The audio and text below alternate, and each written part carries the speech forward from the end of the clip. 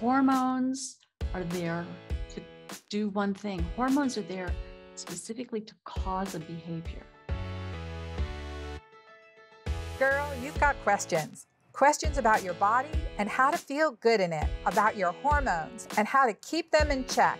Questions about your sex life and your whole health. Can you imagine having a best girlfriend who was also a triple board certified OBGYN? A girlfriend doctor you could call and ask or tell her anything. Someone who could show you how to live any stage of life before, during, or after menopause in a big, bold, and beautiful way. Well, friends, I'm your girlfriend doctor. I believe you are meant to flourish and shine, to embrace life and awaken to all its possibilities. Let's get there together. Welcome to our show.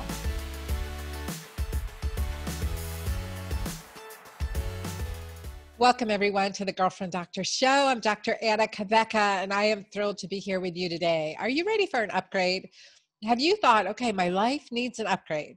I want to upgrade my body, upgrade my hair, just sign me up for an overhaul upgrade.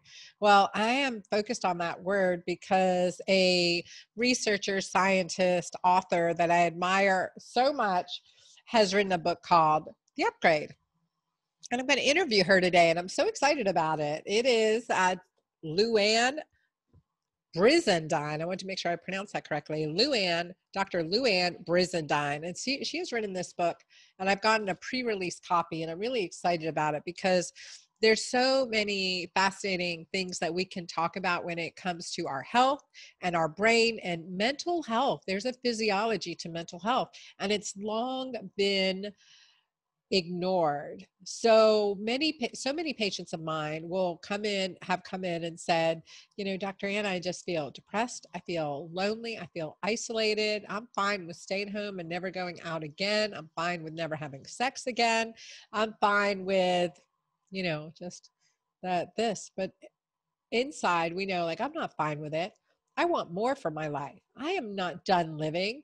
It over the hill should be a time of freedom. You know, it says when you're 50, you're over the hill, all those buddy birthday balloons. Well, over the hill, just think of riding a bike downhill. I mean, easy, exhilarating, free flowing. I mean, just a tremendous feeling to be over the hill. And that's what I want to to be for I I want it to be that way for me. I want it to be that way for you. So there are changes as you know, that happen to our brain as we age. And there, it's a multifaceted approach to heal our our mind, our body and spirit. It's all together. When I was a college student, I was a double major biology and psychology and a minor in French. I was working on all these things. Plus, I was putting myself through college. And so I was working in research in the psychology department. I was waiting tables and waitressing and uh, I was in, in, I went to Ursinus College and King of Prussia area had many good restaurants. So there was um, the Lily Langtry's Dinner Theater. And I used to carry these big trays up on one arm and wear these, you know, high heels, like about an inch and a half, pretty high heel for waiting tables and carry these trays. And I was working a lot. And the psychology professor uh, one of them came to me and said, you know, Anna, you are burning yourself out. You're you're doing so much. And this double major, he said, just Dr. Rideout said to me, gosh, when was this? 1983. He said, Anna, you just have to choose, choose biology or psychology. And he knew I absolutely love both. And I, I looked at him after he said that and I thought about it and I said, how do you separate the two? How do you separate the two? I needed both. And needless to say, I finished with a double major in biology and psychology in, in my in my four years. And I kind of think about that and, and say, wow, I did do I did do a lot at one time. But really, you know, how do you celebrate, how do you separate the two? We need to celebrate each each one, each part and the intertwining of it. Like they can't separate it. And I know that now. They're 40, what is it, 40 almost uh, some many years later, 35 years later, I know that now more than ever, you cannot separate biology from psychology. So, with that said, I want you to think about in your life what affects your mental health the most? What are some things in your life that do affect your mental health the most? Is it physical? Is it is it thoughts? Is it a person? What affects your sense of peace? In the Bible, it says we are uh, deserve the peace that there is the peace that surpasses all understanding, and I want that for each of you.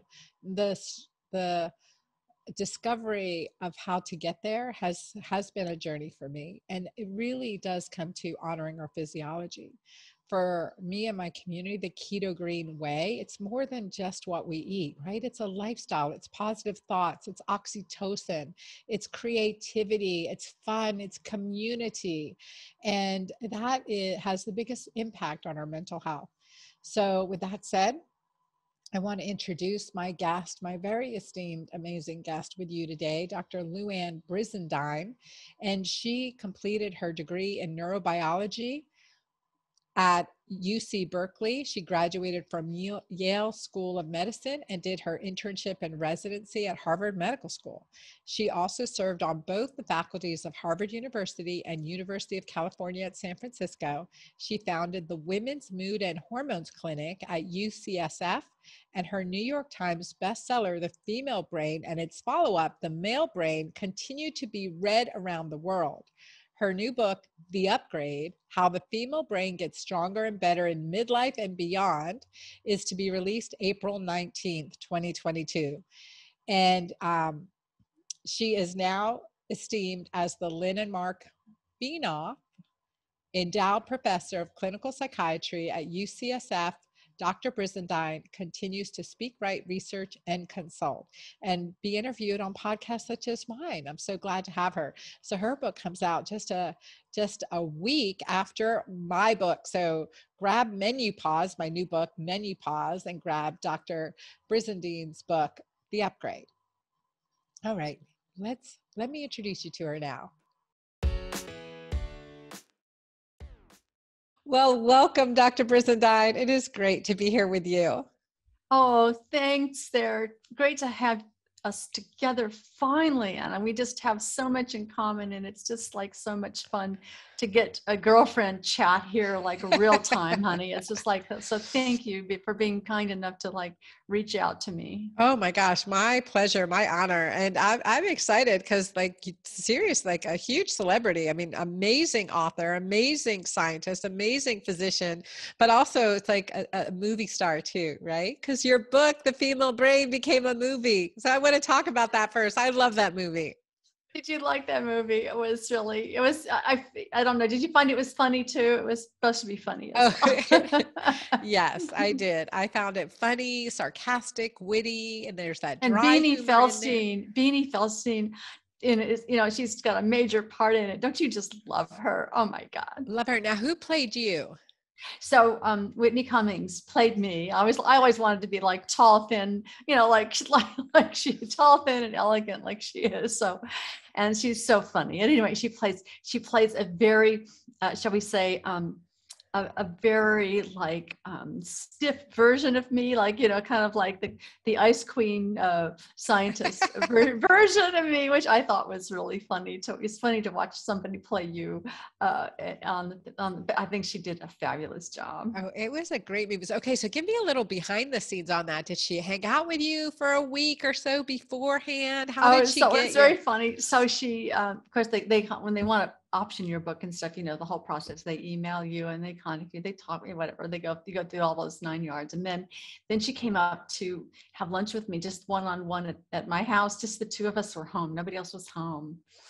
And so it's really funny because she goes into my office and then she goes into my to my library and she looks at all my books. She's like kind of she and she talks with me. She kind of almost like memorizes me and all my little quirks, you know. My gosh, I um, love that. Okay, so you have a lot like so tell me about your library. Like I can see you like my imagination of course from seeing the female brain too. Is your office is your library like that? Yeah, yeah, it's got it's got all kinds of well, you know, it's got endocrinology books and neuroscience books. You know, it's got the, you know, the you know all, all of the, the the the five volume set that uh, Don Pfaff did years ago on on behavior and hormones. You know, it's got all of that stuff in it, and then all the stuff I read over the years, like you know Carol Gilligan's book in a different voice. You know, all the things that all the books that I love, and Natalie Angier's book, you know, Woman. You know, I just you know it has all that stuff in it, so she just kind of took it all in and I have a beautiful um, window that overlooks the bay here in Sausalito, which is my office. So that's where I wrote Female Brain. And it's so it's just, uh, anyway, so she just kind of came and like took it all in. oh, wow. That is, that is great. That's so and cool. And she wrote experience. the screenplay. So she, she wrote it. Yeah, she just like she loved the book so much it became her Bible. And and you know, I had a few people. I had like Jane Fonda came to my office when she was writing the book and she has you know how some people have the green magic mark green and blue and the highlighted in yellow but she had all different colors and all different little stickies on the on the in the margins and things written in the margins. I sat there and thought like wow jane fonda must have been like an amazing student you know because she's just got all this. So she was like you know uh, just the, taking notes and and uh, memorizing that book. So it's been fun to watch people do that. And Whitney Cummings did the same. And then I was down on the set uh, um, and also in the editing room a few times just to be, I wanted to be available to them. So that was kind of cool to get to go down to Hollywood and go into the editing room and see all the things they were trying to, you know, because it's a, it's a, it's a very well crafted, you know, movie in terms of how they did the, how they put things together and the different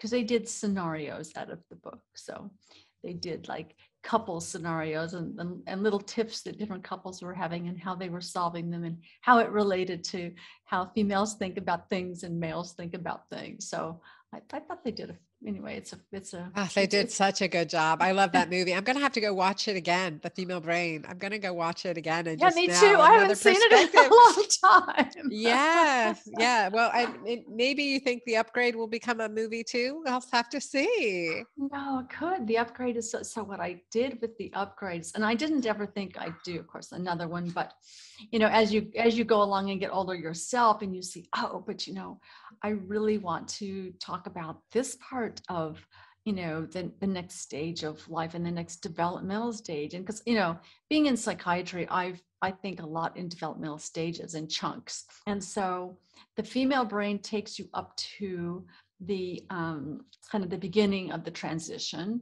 And um, so chapter seven in that one is called the mature female brain. So it's basically that so the next the next one is like dissecting things that happened to you between like age let's say early 40s you know 42 to 45 in chunks in a way up to you know the age of 80 or 90 and so um, i didn't divide it in terms of years or anything but it's uh, it kind of follows along kind of developmental chunks of our of our lives and there's so much that happens in that time that's oh my god and it's it's also just I don't know. It's really, I think it should be hopeful to younger women because so many cool things that happen and so many changes that happen that if you know it, if you embrace them and know what it's doing to you, I mean, you're in for a much happier bunch of decades than you than you had in the past. right, your second half. We say breeze through menopause into the second spring of your life, and so we Absolutely. really want to be able to appreciate it, remember it, thrive in it, ha- laugh through it.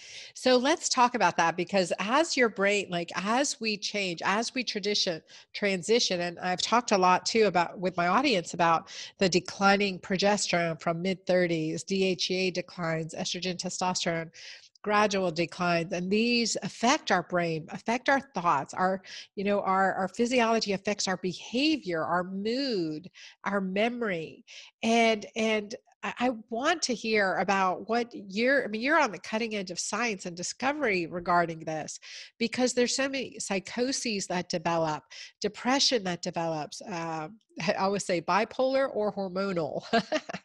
and so, you know, hormonal changes that create mood changes. And often we think, and the traditional psychiatry would be more you know addressing medication versus hormones and lifestyle. And so looking and also now we can image the brain and, and get more insight into what's happening.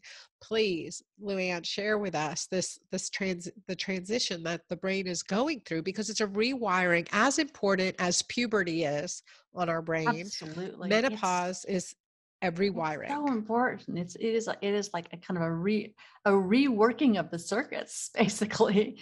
And I think that first before we start this something really one major principle that everybody needs to remember in biology and that is that hormones are there to do one thing. Hormones are there specifically to cause a behavior. So there's hormones that cause us to be thirsty. There's hormones that cause us to um, want to eat there's hormones there that cause us to want to shut off wanting to eat. There's hormones that want us to have sex. You know, there's so all these behavioral things that we actually do are, are are it's it's sort of a strange thing because we we think that we're in we're, we think we're driving our own ship which of course we are but there's a whole lot of push that hormones give us and so in the probably late 30s now right about 37 38 39 years old as our as our little follicles start to just stop producing as much, you know, estrogen and testosterone and progesterone, there's there's some shifts. And remember, as those hormones from the follicles go down, the pituitary gets very agitated because it's the conductor of the symphony and it feels like some of the instruments in that orchestra i.e your follicle they're not playing loudly enough. So it starts to shout at the ovaries to play louder and it sends all kinds of hormonal signals to play louder. However then all of a sudden the ovary will squirt out a huge amount of whatever it has left and that sometimes is like double triple quadruple what we usually have. So actually sometimes in this early transition, we are having higher spikes of estrogen, progesterone, testosterone than we're used to having.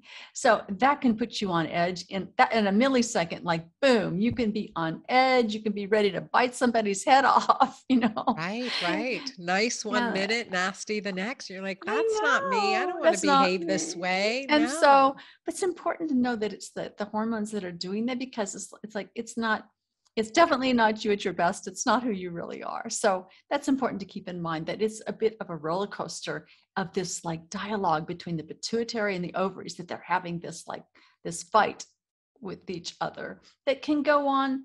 It can kind of intermittently go on for a few days of a cycle and then kind of quiet down for a month or two and then come back. And then, of course, when you get into like the probably the 46 to 49 year old stage usually.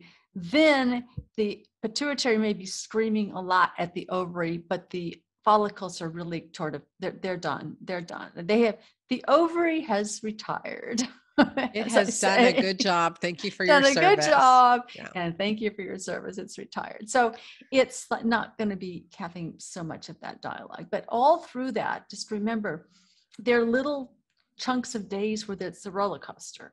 And then you may be fine for a while.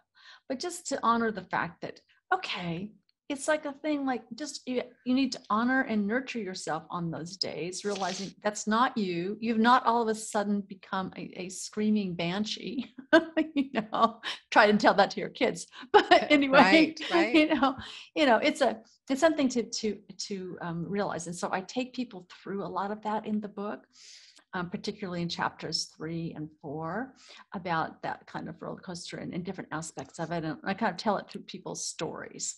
So um, I tell different stories of different ones of my patients.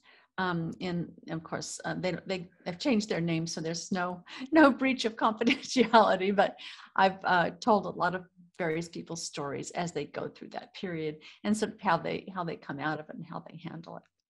And you know, one thing that's really interesting uh, as a physician, noticing when women are younger, say in their late 30s, early 40s, and they have a hysterectomy, their ovary, if their ovaries are removed, they have that drastic surgical menopause symptoms, right? And we're going to work on that with hormones and balance that out. But yet, even without their ovaries in place, come 50s, there to mid 50s, there's another, it's almost like a secondary menopause, another hormonal rewiring that's happening and so I really always was curious what other hormones are involved? What else is affecting the neurotransmitters at that stage? Or is it just this is a stressful stage of life? But it seems to be, you know, uh, very um, common occurrence in, in women who have had a hysterectomy or, or their ovaries removed, that there's You're this second about having, stage. yeah, yeah, the second. So basically having your your ovaries and your uterus out, which is called we call it a total hysterectomy at whatever stage that is. And usually now the the um, people uh, doctors usually if you have a total hysterectomy will then put like an estrogen patch on you or something. They don't just let you like fall off the cliff like they did in the old days. Remember in the old days, Oh, yeah. basically they just didn't do anything, and women's brains literally sometimes just seized up, and you just ended up in a pool of sweat all the time. They don't do they don't there's they know that now. So in the recovery room after your after your hysterectomy they will put a patch on you. So i i had one and they put a patch on me right away. It was good. One of my one of my girlfriends my obgyn girlfriends made sure of that. So at any rate I, I was i was grateful for that. Still am grateful for that. So That's- it- that's we so don't important. yeah. Yeah. they won't they won't let you they won't let you they won't let you fall fall through the cracks after that or you know if any, if for some reason they've forgotten to do that for you you got to be on top of them and say uh, did you put the patch on me in the recovery room?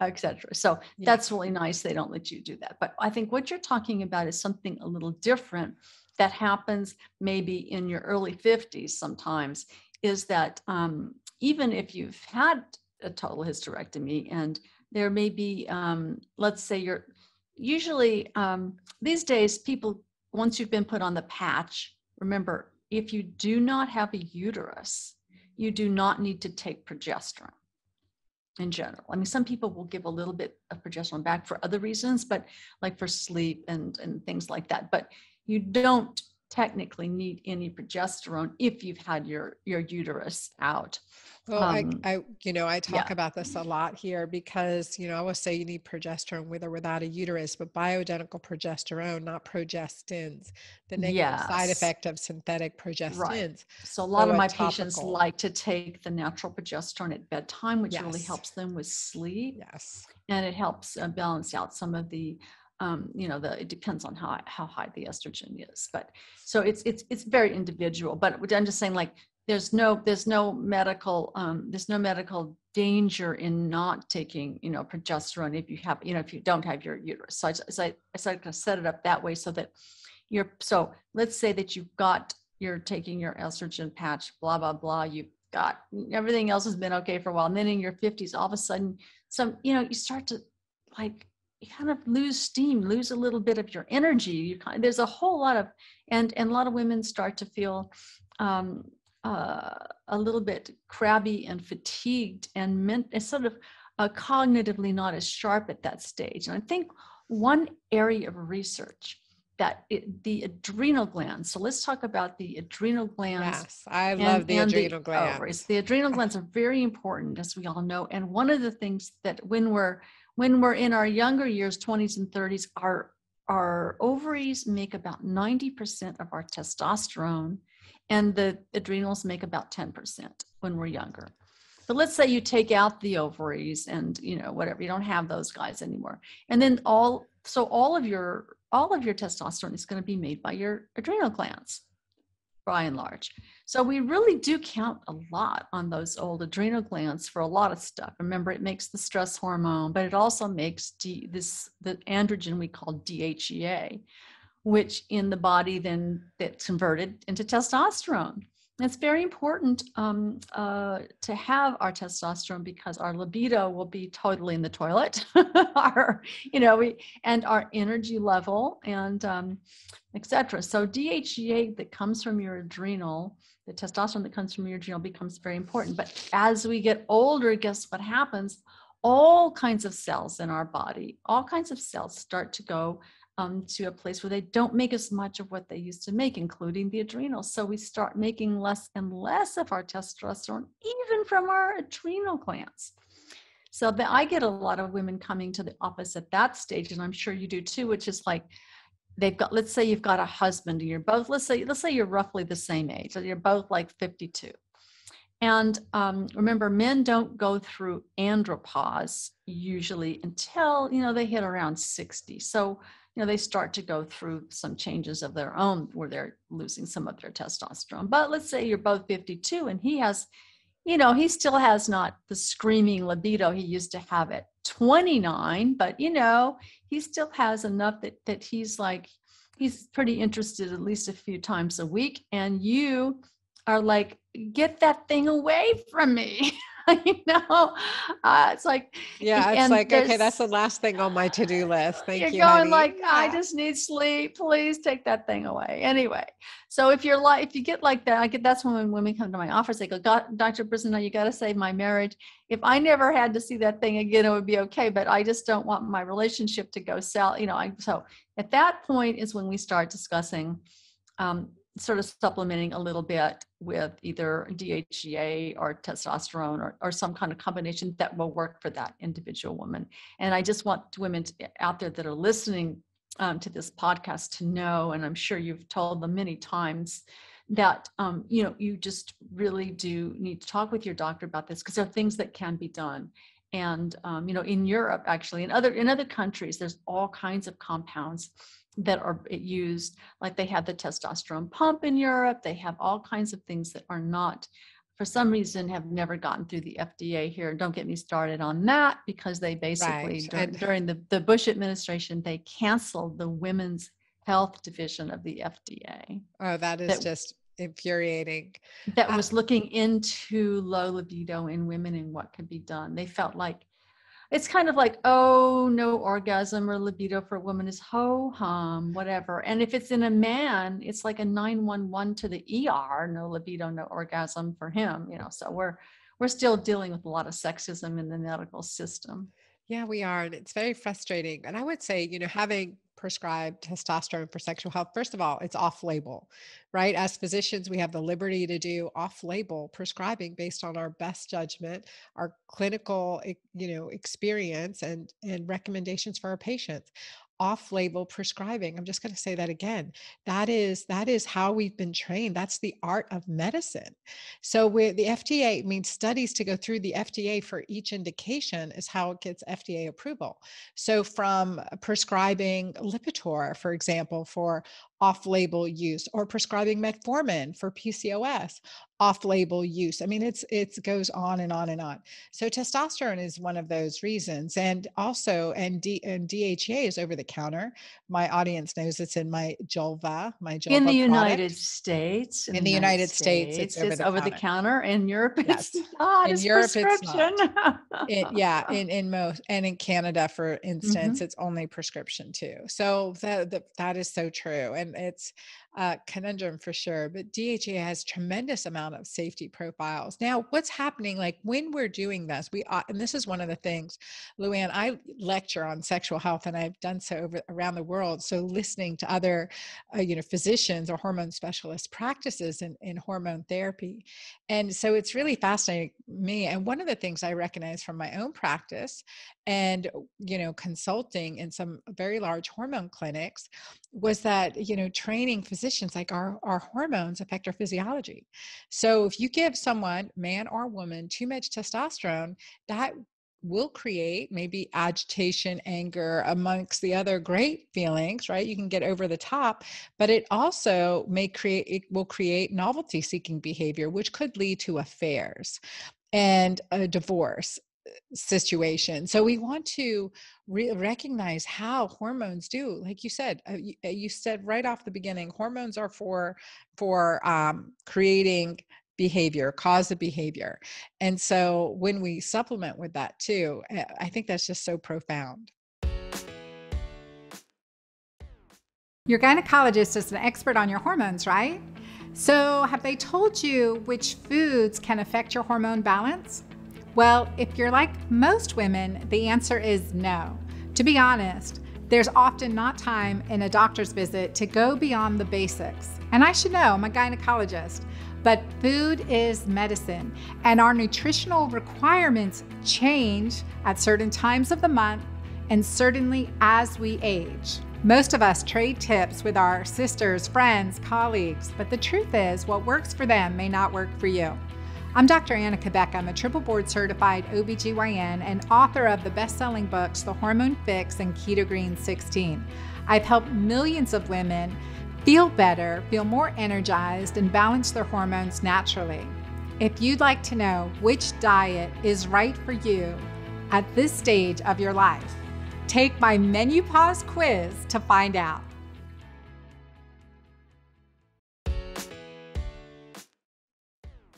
I'll tell you a little story about. I remember when I first got into this, and I remember it's like this is whatever. This has been an area that's been uh, of interest to me, and lots of patients have come to see me over the last 25 years on this on the libido issue. And I remember this one school teacher. She came to me, and she was in her late 40s, and you know her husband still was wanting to, you know, anyway, he had a strong libido and she didn't all of a sudden have any. And so we decided, those were the days when the only way you could get testosterone was to give it in, prescribe it kind of in a male version and tell the woman to take a lower dose of the male version. So at any rate, of course, the pharmacy made a mistake in what they told her. And she went home and she was taking 10 times what I had told her to take for about uh, several weeks up to a month. And um, she came back and she says, Dr. Brizendine, I just got to tell you, you know, I, I, I, I really like this stuff, but I, I, I'm embarrassed to tell you, but I, I, in between classes at school, I would have to go into the bathroom and kind of um, relieve myself. in a different meaning, right? Self pleasure. Take, so my, take my sex, take my sex toys to work with me. But she said, I felt, I felt. She says, I felt like a 19 year old boy. I was like, you know, she says some of us kind of good, but she says, she says, That's I was how, just, guy, how do guys manage, right? Yeah. I know. That's what she said. She says, oh my God. She says, I can't believe it. I just like those poor guys. That's all they must think of. That's all I was think. All I was thinking about was going into the bathroom and masturbating. That is so funny. So eh, that that is such a, a, huge issue. How do you approach a couple like that with a, um, you know, that uh, that distant the in with your special like how how do you treat them when there's a decrease in libido and um, she's really struggling and she's you know worked through they've got a good relationship because of course that's key. I always say there are many spokes on the wheel. I have a program called sexual cpr very holistic yes. right? Very holistic yes. but there are many like is it medical? Is there a medication over the counter drug that you're taking that's affecting you? Is it um, relational? Is it environmental? Are you super stressed? Of course you're not going to want to have sex. What's your you know what's what's the home environment? And also you know what are how you know what's your past history? What's the psychology of your um, sexuality? So I'm curious to how. Absolutely. Well, you have the couple. And so, you know, if the couple has a good relationship, then um, I think that that those of us who aren't certified sex therapists, right, we can manage that because some of it we can do through education. And we say, okay, we're going to test drive this um, DHEA formula for her. We're going to test drive this testosterone formula for her. And um, we want you guys to, you know, kind of like basically keep a little flow chart for the next month and come back and see me again at the end of the month. And let's, let's dissect it and see what worked and what didn't work and how we're going to have to tweak it. So if the couple has a good relationship and they can do that especially guys the guys love to do spreadsheets you know they whatever they especially when it comes to sex i mean they are they are on it man they are they're probably they're going to drive her crazy about with their spreadsheet but anyway that's so funny. Yep they're They'll very task oriented they're very good. They're very task oriented. All you got to do is tell them what to do and they're very task oriented. So as you make them if you give him a task give them a task and they have a good enough relationship where she's not feeling like kind of like she's she's on display and kind of like she's always you know so they had to work it around out so that they usually it's great to schedule the time of sex for couples if they have kids especially like you know put the the kids maybe having a cartoon something they like to do on saturday morning that may be a great time for sex but just you know find a couple times during the week when they kind of have a scheduled thing so that takes the burden off the woman to not feel like she's always on call for sex and it takes the guys expect it makes the guys expectations very specific and they're very good at having that specific thing. So you have to kind of organize it in a way that will work for that couple.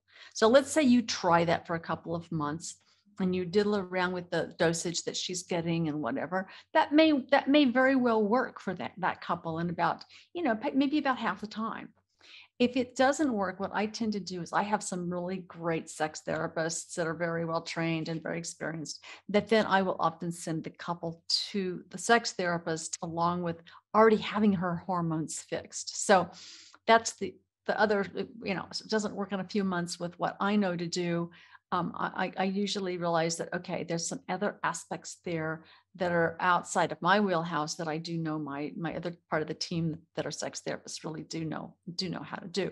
So anyway, that's kind of my approach. I don't know what you think about that, but it just it's really you know it, it it's a way to approach it. And most doctors are not trained at all to do this. Most oh most gynecologists. I mean, I have some of my best girlfriends are OBGYNs, but honestly they feel like this is Pandora's box. And if they ask a question about it while you're up in the stirrups and they've got their, you know, your speculum in and you're doing your, you know, pap smear, or whatever, if they bring up the issue of libido or sex or whatever, they don't even want to talk to you about it because they don't have time anymore to, to even deal with it. So um, sad story about that, but that is that's that's where they're they're at. They'll instead of that they'll say, "Oh, why don't you go over to Dr. Brizendine's clinic and talk to her?" You know, they would rather give them yeah. a referral to get them out the door quickly. Well, it's so true. I mean, it's a different type of practice. And, you know, as a OBGYN, one of the reasons I created the sexual CPR program, it's because by the time you know you're finished the exam, you've talked to them, your hands on the door to leave, and they're like, and Dr. Anna, I really don't have any sex drive. I'm like, okay, that's a that I mean, that's a two to three hour conversation there because yes. there are many aspects. And I, you know, I um I I trained at Emory, but I was a National Health Service Corps scholar.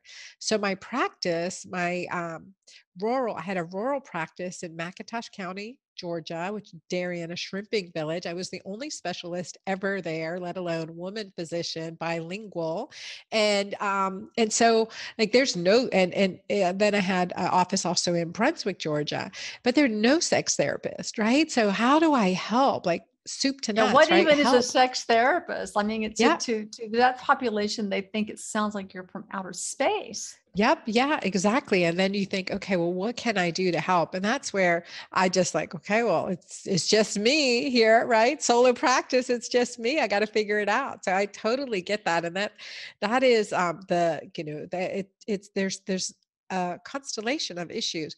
And I want to focus on that more because as the female brain ages, and I want to talk about this book, your book, The Upgrade, because in your chapter seven, which I just was immediately drawn to, it's your brain in search of connection.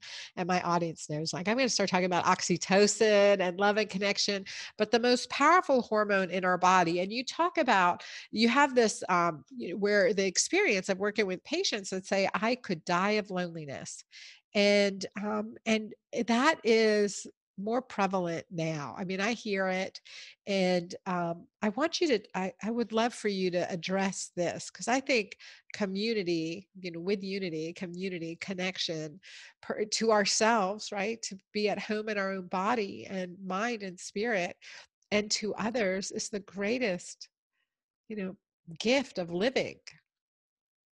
I think that this is, of course, it's another pandemic. It's another epidemic is loneliness. And because it's been pandemic, it's also, you know, that's exacerbated uh, people's people's loneliness. And I think especially if you think about that concept in terms of life stages for women, it's we're talking about the stages after the kids start to leave home.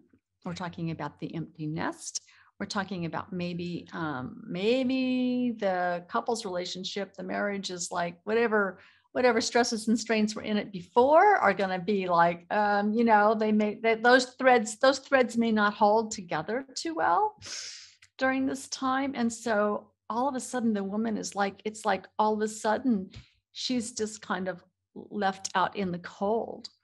And in america you know we really do uh, in i mean in, in a lot of communities people have moved across the country for jobs they've moved everywhere for this you know people people don't live in a little commune with the rest of their extended family anymore for by, by and large and i think that people don't it's like the basic human wiring you get back to this hormone called oxytocin. They call it the love hormone, but it's also the touch hormone. And it's also the cuddle hormone. If someone gives you like a 20 second hug, this is all the research, you know, is showing. If someone gives you a 20 second, you know, sincere hug, it releases oxytocin in your body. And, you know, if someone kind of like also pats you on the head or gives you a squeeze, it's like all of these things, all the things we haven't been able to do during the pandemic, like the six foot distance thing is like, I mean, to the body and to the wiring of the human being, this is frigging torture. That's why the virus, that's why It's the virus is unnatural. The viruses love us so much because the viruses love us so much because we're an up we're up close personal we kiss and we hug and we're whatever and that's how we give viruses to each other too the viruses have have basically exploited something that's very human about us so just it's like it's I'm so this is horrible but it's like that's the truth So true. where we're finding ourselves. And so finding ways to, um, know, I think a lot of people have had more chance during this period to get in touch with their spiritual life too, um, as as as um, an antidote to loneliness. It depends on what you have as as your spiritual practice, or you know, there's just like the. So I think first of all, there's a thing called you know the the three a's you know first you have to first you have to become aware of something you become aware that you're lonely and then you, the next step is A- the other a is like then you have to accept accept that you're lonely. And that acceptance of that and to know that that is that that is a debilitating state to you and that's why you're feeling so badly. And it's it, it's affecting you physically too. Sometimes people get gi problems because of this or they won't eat enough or they don't like move enough so they don't you know they get either get constipated. I mean all kinds of physical symptoms start to occur for people who are lonely that you wouldn't think should be related to loneliness but they really are. I mean how could constipation be related to loneliness? Well you're not drinking as much as you should you're not moving around as much you know, you know you're not eating it's like all kinds of reasons and you're not eating with other people. Well, it's also, you have to think like the macrocosm to the microcosm, right? So, like, as we are people, our gut, like our bacteria, you have to wonder, they're lonely too. Like, if we're lonely, aren't they going to be lonely? I don't know. I'm just creating Yeah. another cartoon video. yeah another another dimension to this is Yeah. really important i mean like that's the microbiome the microbiome we have is because we've gotten that from other people for the most part you know and so you know all of these aspects of both our health our well-being and you know So, the three mental, A's mental health aware, accept, and, and then the third is action action. Okay. so once A you become aware of something, once you become, you're counting too. once you become aware of something, then you get to this phase where you, if you accept it, you just have to work, you work on accepting it. And once you've hit the place of acceptance, then the action plan starts, right?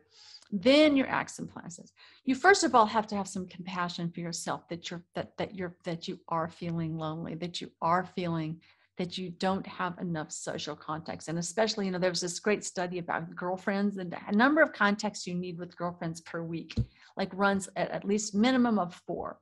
So Ah, you need at least at least four contacts with girlfriends. okay. Okay, well, that could be a face and that could be a call. It can be whatever. I don't, or it can be a walk with them. I'm during COVID. I know that, you know, I've, I mostly it's like I, I contact girlfriends by phone or sometimes we text or we, you know, somehow, you know, a bunch of us do a Zoom call on Saturday. My girlfriends that we used to meet up for Saturday lunch. Now we meet up for Saturday Zoom if it's a, like a really bad outbreak, like right now, you know, it- we just try to keep contact. And so, um, it's often not enough, but it's it's a way that you have also the acknowledgement and that that you have that piece of knowledge that human beings need contact with other human beings and there's nothing wrong with you. It's not like you're not like you're a baby or not like you're weak or not like there's something wrong with you. There's nothing wrong with you. You need contact with other people. Humans are wired that way and when we don't have contact with others there's a part of us that starts to shut down and feel like um, we're going to be left out on the ice floe to die. It's a very weird biological thing that starts to happen, but kind of like the a death spiral thing starts to happen in your body and in your head. And you know, that's people don't realize that it's actually loneliness is loneliness is as deadly, as they say now, as smoking. I believe it. Absolutely. I, I couldn't agree more. And it's, uh, you know, it's so there's so much. Gosh, I know I could talk to you forever. I want to honor your time and and have you just like summarize, you know, just uh, that the concept of the aging female brain. One thing I talk to my audience a lot about, and I write about it in my book, The Hormone Fix, is that cortisol oxytocin connection disconnection. So when when cortisol's winning, it's that isolation when we're adding in those doses that self-medication of oxytocin the laughter the friendship and and you guys four girlfriend touches a week four girlfriend touches a week i love that i love that really to say okay did i reach out to a b c d right and it's being that person for someone else i, I think that's definitely i vote that as a as a as a uh, I'm going to put that on a sticky around my house just to remember, make sure that I'm doing that. Did I do four? Right? Check that off. And so that that's a really powerful, a powerful uh, way to heal from that isolation. So as a woman's brain is aging, 37 to 39, we've got our hormones going on. 46 to 49, there's that other, you know, there's that more of that rewiring, testosterone, DHEA that declines pretty predominant, but yet we have a, a, a shift in the testosterone to estrogen ratio. So we always talk about the the ability, like the um, and not tolerating the the bullshit anymore type of hormonal profile and then what happens? Then, then you get to get into your you get into the last the 50s and 60s actually are wonderful wonderful decades because all of the studies show that we get happier each decade and so, you know, think of your by your 70s, you're going to be even happier. That and a lot of that comes with like I think wisdom and letting go of the bullshit. There's not you just like, you know, the thing is, you know, also that you say, I know I just want to eat a healthy diet and have a healthy amount of exercise. And I don't have to look like a perfect some kind of image that I thought of myself at age 25.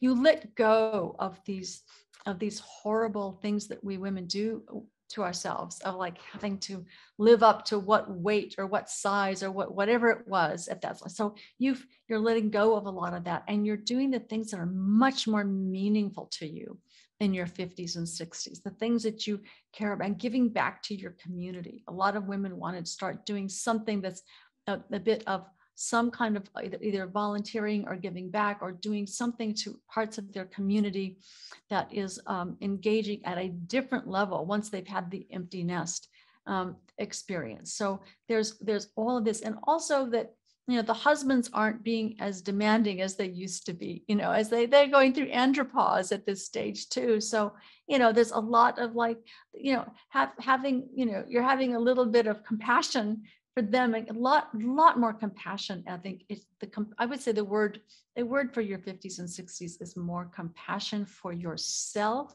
nice. and for others i love that i love that compassion community connection yeah all the C's. We did the three A's. Now we're going to do the three, three C's, C's, Anna. Anna, we did the three C's, right? Compassion, community, and connection. So, um, what will people find in this book? And this book is available everywhere books are sold. I imagine it's going to be a New York Times bestseller. I really am praying that for you because this is such powerful information for everyone to read. You guys, her book is coming out April 19th, but you can pre order it now. While you're doing that, make sure you've pre ordered MenuPause, which is coming out April 12th. We are like having back to back books here and they're very very complimentary so they are rock and roll i think sh- i think they should be a gift set of two don't you Anna? i do i think so i think so it'll be fun so um so yeah tell tell more about you know the um where they get the books, where they find you, and anything else you want to share. And then I'm going to do my rapid series questions. Okay, that's great you can definitely order it any place online that you can get it. Just just just Google the upgrade and Dr. Brizendine, and you'll you'll get the, the several links to it. And you can get it from where, wherever wherever the cheapest place you can get it. It's also in audio. It's also on Kindle. It's also you know it's in it's in many many forms. So at any rate, that it'll be available in all of your bookstores. I try to support the local bookstores still to this day. The independent bookstores or bookstores, if you have the chance, just they are they are a place that you know, they have employees, they have a, you know, they, they just, you know, everybody knows where their favorite lo- local bookstore is. So I say, Definitely support them. Absolutely. if you can go get it, if you can go get it there, that's great. If you're in the Bay Area, I, I do, I do lots of signings and things around here. So you can go get a signed copy and give it, you know, one of the nicest things about this is it's a great gift. It's a great gift for your gift for those four girlfriends of yours. It's a good gift, you know, it's a good gift. And it's a good gift for Mother's Day too. Oh, it's perfect. All right. Thank you. Okay, you guys, the upgrade, Dr. Louann Brizendine. And all right, so here's my rapid fire questions, girlfriend. We're going to ask you some. So, what is your favorite food? Oh, you know what? I love, I mean, I love eating almond butter. oh, that was unexpected. That's great. Okay, what is your favorite drink or cocktail? You know, I have none. I do not drink. I have not had, I find that it makes me um more kind of hot flashy, hot flashy, irritable, and, and the sleep problem. I just decided it makes me feel so when I'm at people's homes, I'll let them maybe pour or whatever, but I just I just go for the sparkling water these days. I've just I gave it up. Okay, do you have a favorite sparkling water? We're we're big fans in this house of Topo Chico, but I did get my own sparkling water maker. We got our my husband likes to make the yeah, he goes definitely straight for the SodaStream. Whatever he does, he does it boom. And we have that's what we have. I like that better. It's very fresh and it's very it's just just right. You know, it's in your own house. I love it. Okay, what's your favorite supplement to take? What supplement will you take on a daily basis? You know, um, I for sure take vitamin D on a daily basis. So that's that's that's kind of a real real main powerful one. me. Yeah. Yeah, and I I do um, since some studies sho- came out that showed that we do a lot better as we get older on on a multivitamin every day. So um, I don't really like them much. Sometimes the ways they make me feel, but I, I will t- I will definitely will take one of those. And then I have a little thing of called what called Pickmins. Do you know Pickmins? I think their Thorne makes them one of those. Make them, and I take vitamin K because I think it's really uh, really really useful for your bones. Absolutely. Especially, I would say vitamin D says deposit calcium, vitamin K says wear, take them together, not alone, right? That's right. What's your favorite exercise or so movement activity? I am in the pool. I love the pool. Okay. I do I do swimming and because we live in Marin County, the hiking trails are endless here. So being out on the beach and hiking up on the cliffs and stuff, you know, on these trails, amazing. Beautiful. Oh my gosh, I got a good visual of that. Okay, so when you have downtime, what do you like to do in your downtime? Um, I love meditating. And during COVID, especially, I've I've developed more of a robust meditation practice. So I find um, that when I have some downtime, I like to meditate, or I like to listen to some meditation, some Dharma lessons, or some meditation tapes. Sometimes, you know, I like to listen to Tara Brach's Wednesday afternoon tapes, or you know, just different different people that I like. I will like to listen to some some podcasts, uh, some meditation podcasts. All right, this one. Uh, what is your favorite sexual position? well, let's see. Um, uh, you know, I think I think for uh, you know depends on um, depends on on who it's with, but no, my husband.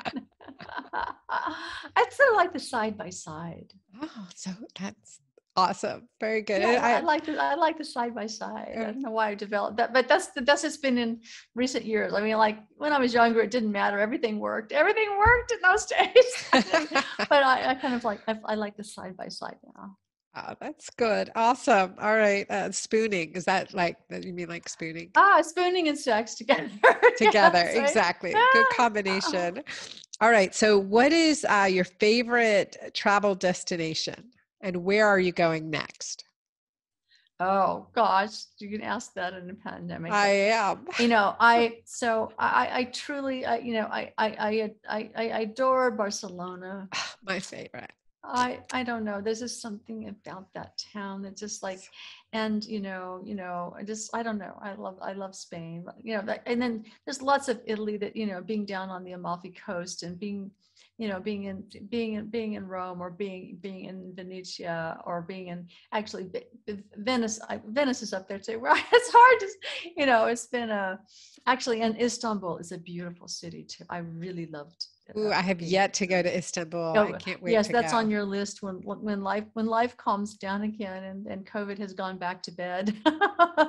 yes, yes. Well, uh, that is fun. Thank you so much. Thanks for playing along with that. And um, thank you for being on the Girlfriend Doctor Show. I admire you. I admire your work and the heart you do it with.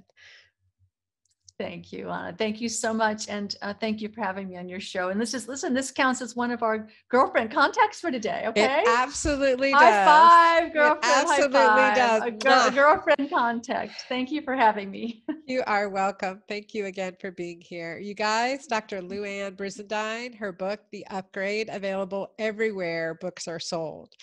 It is time to invest in yourself. There's always one next right step, an aha moment. And when you hear the science that supports it and the stories that surround the situations that you yourself or people you know that have dealt with, and the solutions and why we're not crazy and we're not you know what our destiny is is up to us it's our choice in so many ways so love the information here and i want everyone to connect and share this great podcast this great show and share it if you've watched it on youtube or itunes or wherever you're listening. Be sure to share and let me know what are your questions?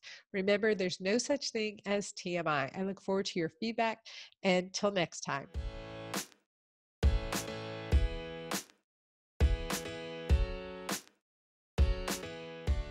Thank you for watching this video. Be sure to subscribe to my YouTube channel here and get those notifications and comment below. Let me know your thoughts, what you loved, and what your action step is.